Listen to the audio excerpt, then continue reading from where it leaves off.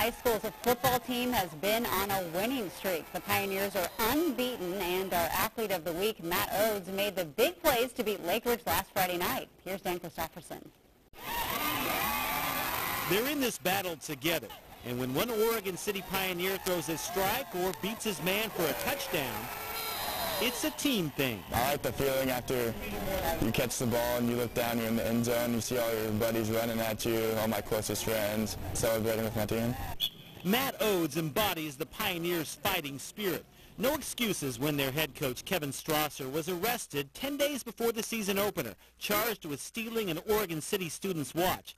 Up stepped athletic director Bruce Reese, and they have rallied behind him to 4-0. They've taken ownership, let's just put it that way. They've taken ownership of this team, and as seniors... We're just using it as kind of a, something on our, back, our shoulder that we need to do it for Coach Strasser, you know. And the season for him, we know that we're a great team with or without, and we just are rolling right now. It doesn't hurt that quarterback Jonathan Hall's best friend is fellow senior Matt Oades. They've been playing catch together so long, they make each other look good out there. He's everything you want in a receiver. He's got height.